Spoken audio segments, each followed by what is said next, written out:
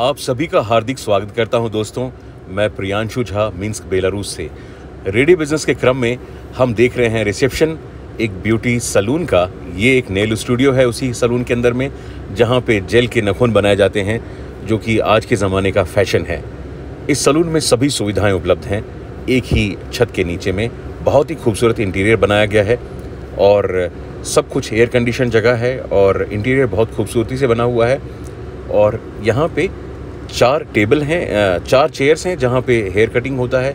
ये देखिए cleaning zone है और आगे आप ये देखिएगा, ये जो रूम है, ये मसाज रूम है, जहाँ पे मसाज, यहाँ पे ये शावर लेने की सुविधा और पूरा ये मसाज केबिन बना हुआ है। इसके अलावा जब हम इस कमरे से बाहर जाएँगे तो हमको और भी दूसरी चीज़ें देखने को मिलेंगी।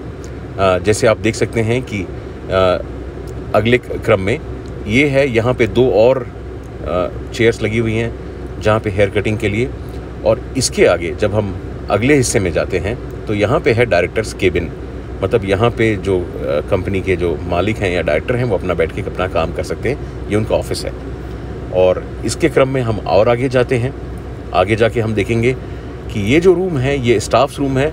यहाँ पे स्टाफ के लिए, हर एक के लिए अपना अपना कैबिनेट बना हुआ है। वो अपने कपड़े यहाँ रख के अपने बदल सकते हैं।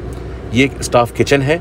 जहाँ पे हॉट वाटर बॉयलर और पूरा कंट्रोल भी बना हुआ है, जहाँ पे वो पेंट्री की तरह अपना इस्तेमाल कर सकते हैं।